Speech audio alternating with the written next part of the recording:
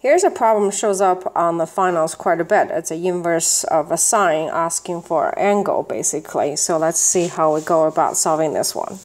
The analysis of this inverse sine goes something like this. What I have here playing around is a sine curve. Sine curve is a very straightforward uh, function because for every domain, uh, let's say this is theta 1 and theta 2, for every point on the theta, I have a one-to-one -one correspondence onto the range and mapped between minus 1 and plus 1. However, here's the problem. Once we rotate the sine curve 90 degrees, this curve becomes our sine arcsine. Okay, so the inverse sine. This is no longer a function because if I were to pick one point, let's call this A, and I draw a straight line up and down, as you can see, I'll have multiple points onto the range. This violates the definition of a function, of course. So someone up there, some committee or some uh, smart mathematician say, hey, this is an easy problem to solve. If we limit our degree into plus 90, plus 90 and minus 90, we back on to have another function.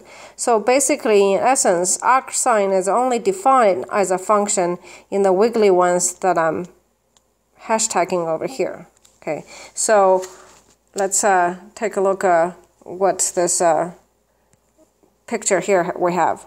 So what you have here is a graph from a uh, textbook I actually found. Uh, here's the first one on top you see is the function of the sine, as we said before. And this red box is saying like, look, we have to stay in this range before arc arcsine, otherwise arc arcsine wouldn't make sense. If you tip this one around, like we did earlier, and here's the arc arcsine function of f of x equal to uh, inverse of sine. Okay, so basically this problem is asking, do you know that theta has to be limited between 90 and minus 90 degrees? Because uh, sine of inverse minus radical 3 over 2 is going to be an angle, any angle. The answer is going to be an angle. So this is equivalent to say sine over what angle is equal to minus 3 over 2 radical.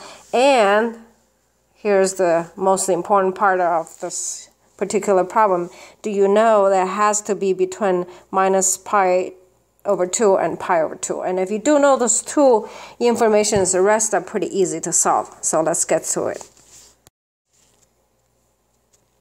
Alright, so here's how we go about solving this. I always find it's easier when we're dealing with inverse sine. Put a theta here. So I'm asking sine of theta is equal to radical 3 over 2 with a minus sign, and the angle has to be restricted between 90 and minus 90 as we did analysis back over here. Now using a unit circle, you can see minus radical 3 over 2 is going to end up with two terminal sides is here. One in quad 3, one in quad 4.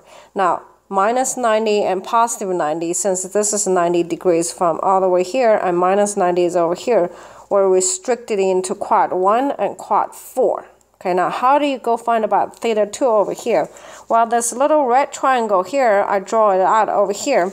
The unit circle has radius of 1, and the half is where the 30 degrees are looking opposite of. Since this little tri triangle in the red is 30, theta 2, then it's 60.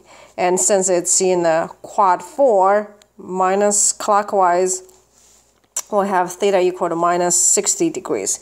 And that's the answer. Well, I hope this one helps. Hi, this is Dr. Pan recording from Tucson, Arizona. Please comment or share this video. Together we can make math easy again. Have a confident day.